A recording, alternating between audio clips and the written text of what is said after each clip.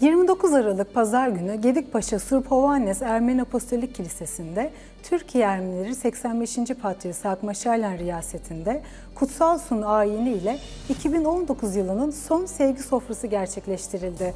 Ayindeki ilahileri kilisenin Zıvartnos korosu seslendirdi.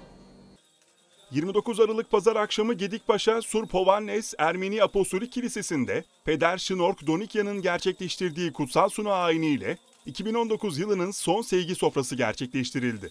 Türkiye Ermenileri 85. seçilmiş patriği 2. Saak Maşalyan riyasetinde gerçekleştirilen ayinde ilahileri kilisenin Zıvartnos korosu, şefleri Kevork Çağlı Çubukçu yönetiminde seslendirdi.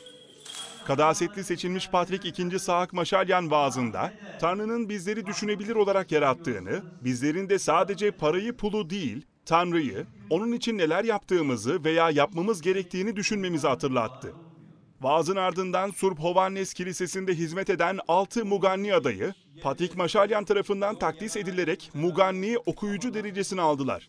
Ayrıca eski Mugannilerden Murat Serkizyan da takdis edilerek kıdemli Muganni derecesi aldı. Bu törenin ardından kutsal sunuyu gerçekleştiren Rahip Şınork Donikyan ve Patrik Maşalyan tarafından komünyon, Rabbin sofrası dağıtımına geçildi. Kilise töreninden sonra kiliseyi tamamen dolduran Hristiyan topluluk, kilise salonundaki sevgi sofrasına geçti. Buradaki yemek de Türkiye Ermenileri seçilmiş patriği 2. Sahak Maşalya'nın duasıyla başladı. Salonda aynı zamanda yeni yılın gelişini de kutlayan misafirler, Robert Doğanay'ın müziği, kendisinin Maral Ayvaz ve Lida Köseoğlu'nun seslendirdiği şarkılara eşlik ettiler.